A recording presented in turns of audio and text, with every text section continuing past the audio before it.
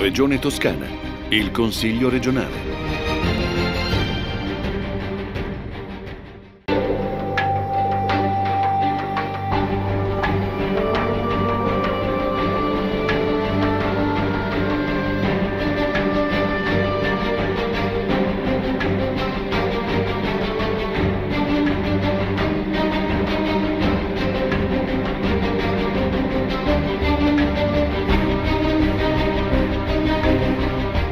Il Consiglio regionale della Toscana torna a parlare di Covid e l'occasione è la conclusione della commissione d'inchiesta sui vaccini,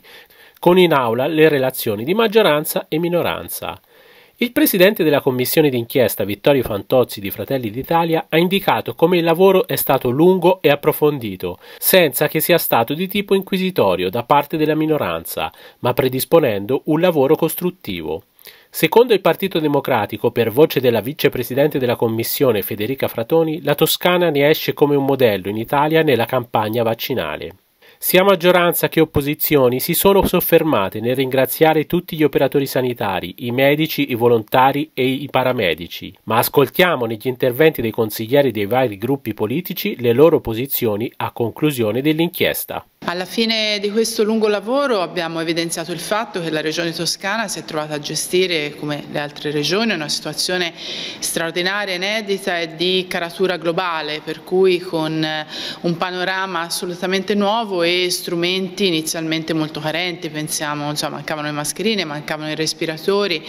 Devo dire che ricostruendo anche il percorso normativo che la Regione ha messo in campo si vede come si sia da subito mobilitata la Giunta, il Presidente Rossi nel mettere in campo con le prime ordinanze intanto un modello di governance molto stretto, molto snello che poteva basarsi anche sulla riorganizzazione del sistema sanitario in soltanto tre aziende e quindi con una rapidità di diffusione delle decisioni davvero eh, unica e poi le decisioni di allestire eh, oltre 280 postazioni di terapia intensiva nuove, l'istituzione delle USCA che a regime sono arrivate ad essere 160 unità, eh, un lascito che ancora oggi abbiamo e che dovrà essere ulteriormente valorizzato proprio nella fase di costruzione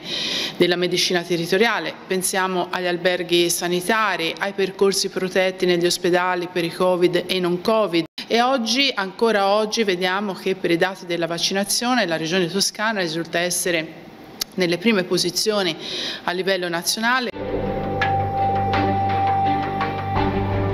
La Toscana è stata la prima, anche su nostra richiesta, a fare una commissione d'inchiesta a livello toscano per verificare cosa, cosa, ha funzionato, cosa non ha funzionato sotto la pandemia in maniera molto acritica ma veramente in maniera oggettiva per vedere e di comprendere come è stata la risposta della Regione Toscana a quell'esperienza. Da Italia Viva parte una richiesta forte, è mio l'emendamento di richiesta all'ordine del giorno per chiedere al Governo di istituire anche a livello nazionale una commissione d'inchiesta, lo stiamo chiedendo da anni anche a livello nazionale con il nostro leader Matteo Renzi e oggi è stata l'occasione l'occasione per depositare un atto ufficiale con la quale appunto partendo dalla Toscana si possa chiedere anche a livello nazionale una commissione d'inchiesta perché nel mentre le persone morivano, nel mentre le persone venivano soccorse, venivano in alcuni casi curate, nel mentre il volontariato e i medici davano tutto se stesso per aiutare gli altri, c'era chi faceva affari, magari sulla disgrazia degli altri. E questo va messo alla luce, va fatta una commissione d'inchiesta con poteri parlamentari, quindi dalla Toscana, dall'esperienza positiva di un'indagine, ovviamente conoscitiva, così come avviene a livello toscano, parte una richiesta forte a livello nazionale perché questo possa essere raccolto anche a livello nazionale e a quel punto fare una commissione permanente d'inchiesta per verificare effettivamente quello che ha funzionato e soprattutto quello che non ha funzionato quando al governo c'era Giuseppe Conte.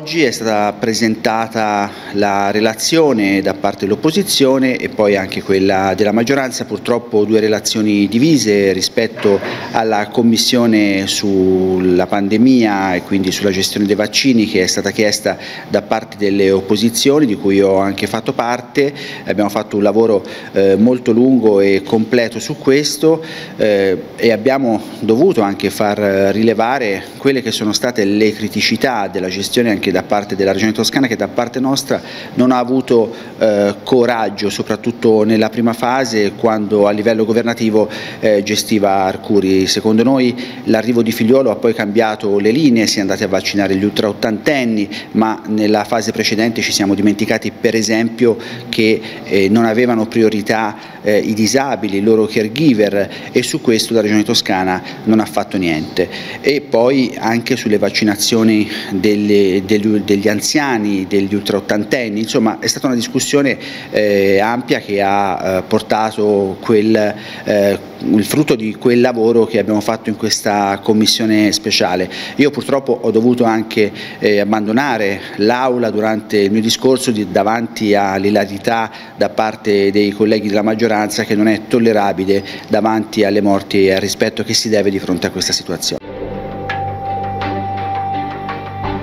Ma io devo dire che il dibattito, la relazione, mm, guardando in controluce, come è legittimo che faccia una minoranza che cerca comunque di trovare sempre il pelo nell'uovo, ma eh, stamani è stata la dimostrazione eh, nel dibattito e nella evidenziazione dei temi di quanto la Toscana sia stata complessivamente brava a gestire un momento così delicato e difficile quale la pandemia. Da un'organizzazione che non esisteva perché l'ultima pandemia era stata eh, più di cent'anni fa, la spagnola dal 1918 al 1920, abbiamo messo in campo una squadra che è riuscita a inoculare quasi 9 milioni di vaccini, a portare una copertura al 96-97%, il motivo per cui oggi il Covid in Toscana eh, quasi non esiste più, eh, stamattina non c'erano nemmeno 200 contagi.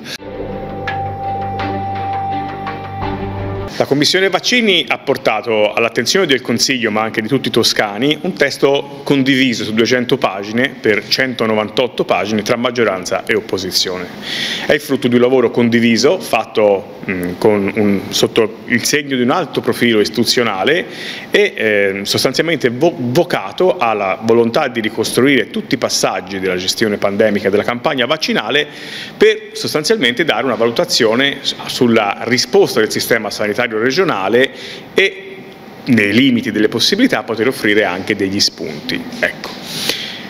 Questa eh, diciamo, relazione poi condivisa ha preso delle vie eh, diverse, c'è stata una via che è quella della maggioranza e una via di tutti i gruppi di opposizione su un lavoro che comunque provvedicamente abbiamo condiviso, dove sostanzialmente abbiamo voluto rimarcare determinati aspetti. Eh, senza riuscire forse a farsi intendere molto bene dalla maggioranza che eh, sostanzialmente rimane racchiusa all'interno della politica dei primati, insomma si è primi in classifica ovunque e sulla scia dei primariati in classifica si, fa, si sconta sostanzialmente di non voler riconoscere come in effetti eh, taluni ritardi, talune ehm, situazioni eh, dettate da una impreparazione o da una cattiva comunicazione possono essere costati chiaramente parte delle vittime che registriamo all'interno eh, del fattore Covid in Regione Toscana.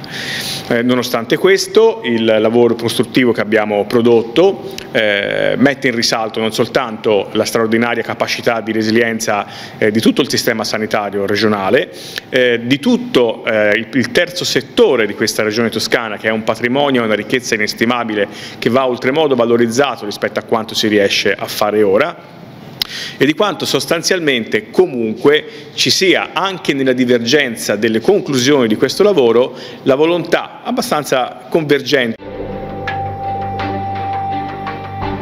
La Commissione ha fatto un lavoro poderoso, ha ascoltato tutti, tutti gli operatori del settore e mh, ha impiegato molto tempo per stilare una relazione che vorrebbe essere non soltanto una memoria storica per futuri ricercatori, ma uno strumento attuale per capire che cosa è stato fatto di, sia nel bene che nel male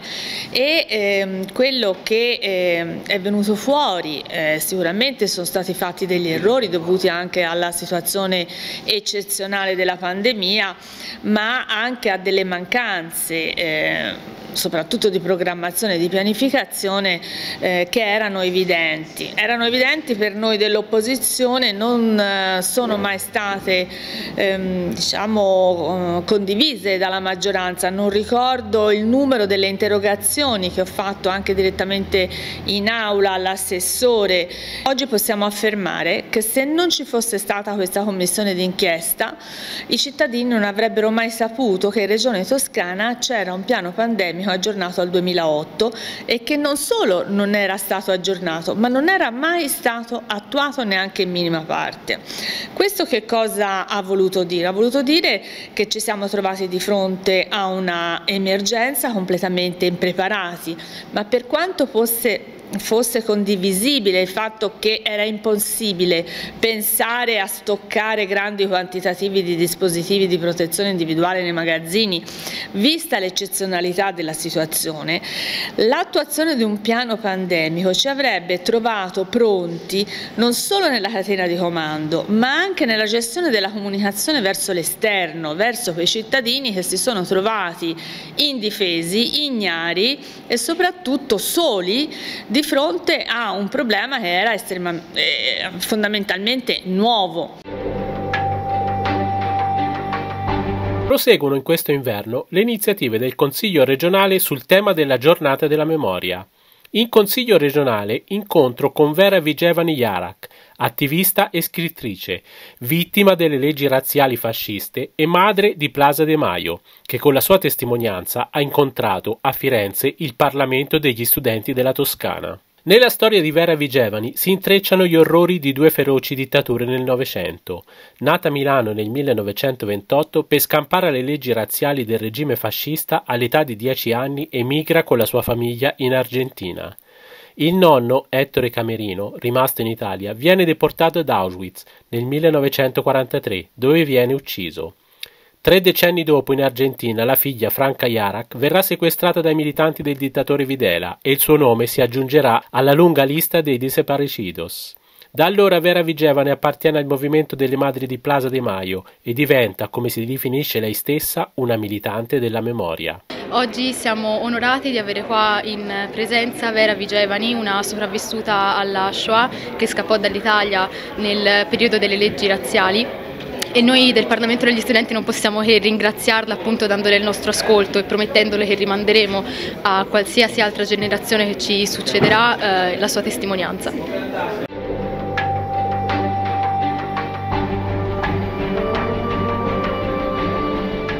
L'importante è che ci incontriamo e scambiamo un po' di opinioni, vediamo se assieme cerchiamo non solo di ripassare il passato, eh, che tra l'altro è facile trovare tanta informazione, basta mettere un dito sì, su internet, ma vedere un po' che sta succedendo e, e soprattutto affrontare tanti problemi, tanti drammi, tante cose terribili che stanno avvenendo un po' in tutto il mondo. Allora, per loro e per me è una maniera di starci vicino, vicini, di metterci insieme, di forzarci, non dividerci, perché quella è la cosa peggiore, e vediamo se qualcosa riusciamo a fare. Vediamo se miglioriamo un pochino il mondo con più giustizia e mm, chi lo sa, dicono che tutto sono utopie, sogni. E, mm, è vero, è vero, sono, sono, sono anche utopie probabilmente, ma le utopie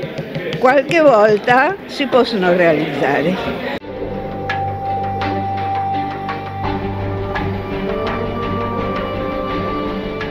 Una giornata importante perché oggi ospitiamo una donna, Vera Vigevani, che è riuscita a trasformare il dolore e la violenza subita in insegnamento, educazione, soprattutto alle ragazze e ai ragazzi più giovani. Eh, la Toscana è una terra che non si è mai voltata dall'altra parte, una terra che è sempre stata in grado di accogliere, in grado di eh, trasmettere ai giovani quei valori che indicano qual è la strada da seguire e in un tempo in cui purtroppo di testimoni di quegli orrori, di quelle barbarie, di quelle violenze sono sempre meno, allora è importante che ognuno di noi diventi amplificatore di memoria e per questo oggi insieme al Parlamento degli studenti vivremo una delle più belle giornate che in questi anni quest'Aula ha potuto eh, ospitare. Regione Toscana, il Consiglio regionale.